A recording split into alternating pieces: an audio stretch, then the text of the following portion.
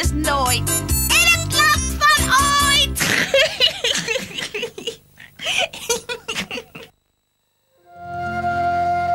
Hallo, ik ben Kloontje en vandaag ben ik hier bij mijn reuzenbroer. Reus ooit.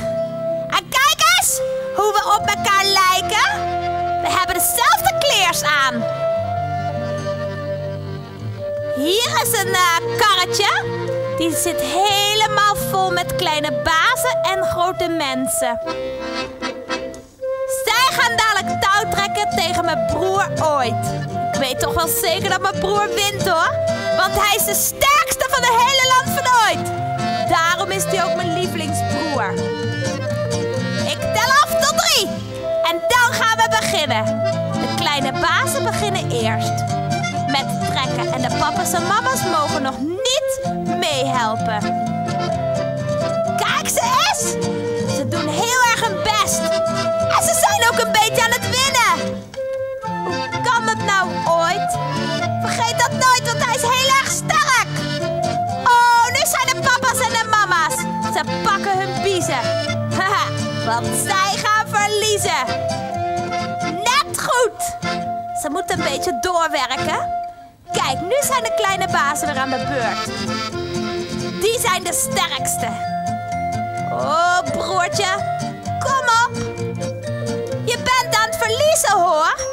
Je moet wel een beetje doorwerken. Ja, luister naar wat ik zeg, hoor. Nu mag iedereen even meehelpen. Anders wordt het te zwaar. Ze doen heel goed hun best. En je moet hele grote spierballen hebben. Anders kun je niet tegen mijn broer vechten. Dus eh, het is wel een eerlijke wedstrijd.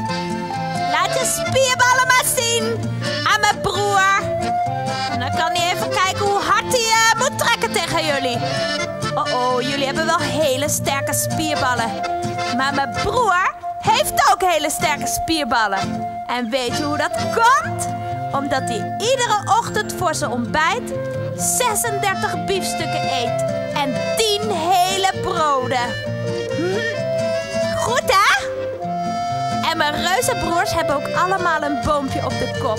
Net dan ik. En dat is omdat ze zoveel van de natuur houden. En er heel veel over nadenken. En weet je waarom ze stilstaan? Nou, dat is makkelijk. Want als ze gaan wandelen overdag, dan lopen ze zo eh, over je heen. En dan ben je zo plat als een ooitcentje. Hm?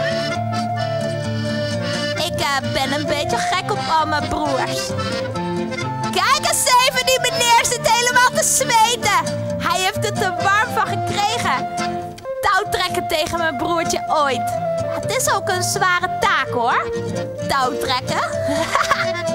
Ik lach hem uit, want hij is helemaal nat en bezweet. Hij is een beetje aan het verliezen. Mijn broer is aan het winnen. De papa's en de mama's, die moeten nu de armen omhoog. Worden die meteen ook eens een beetje droog. Haha.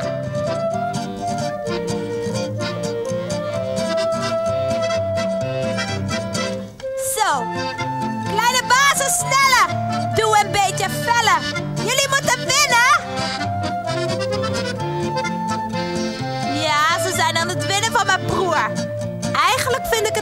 Niet leuk.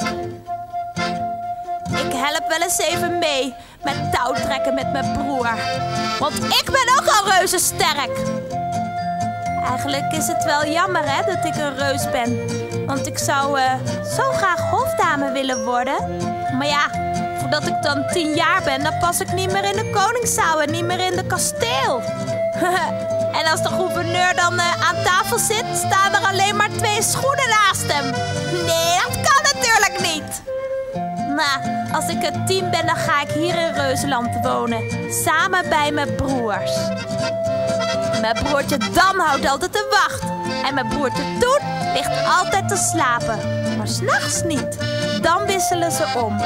Dan gaat mijn broertje Toen gaat de wacht houden en mijn broertje Dan gaat slapen. Haha, ik heb het een beetje warm van gekregen. Hm, een beetje zweet afvegen. Die mevrouw die zit ook mooi eens even heel veel te zweten. Zie je dat? Ze is er helemaal moe van geworden.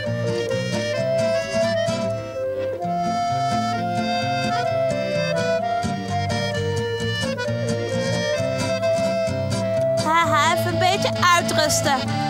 Wordt zo goed moe. Hm, dat doet er niet toe. Want uh, ooit is voor de kinderen. En hij laat zich niet door de grote mensen hinderen. ik ga alles vertellen wat de mensen moesten doen. En hier werd ik een beetje boos. Zag je het? Oh, ooit is aan uh, de winnende hand.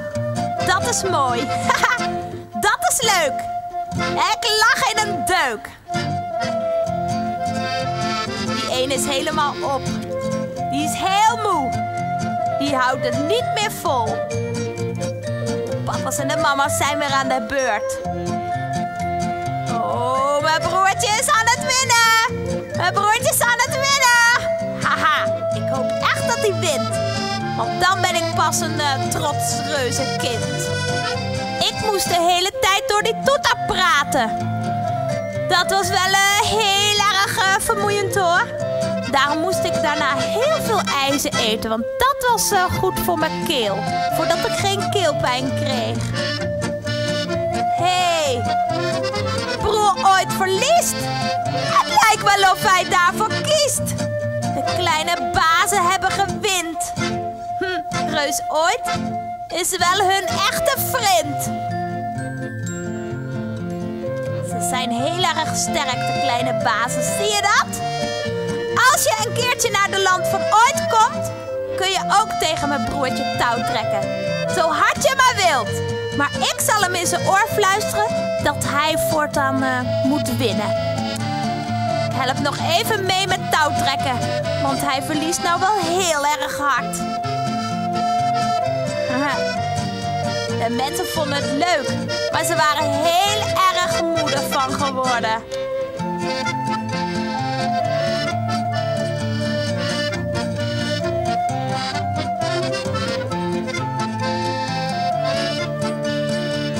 Een keertje werd ik boos, want iemand speelde de vals. En ik zei het tegen mijn broertje nog. Er is iemand die vals speelt, broertje. En dat mag niet. Want er was een papa die stiekem ging helpen met zijn dikke spierballen. Zo. Lieve reus ooit, ik vond het erg leuk. En ik ga nu zwaaien en laat de bomen waaien.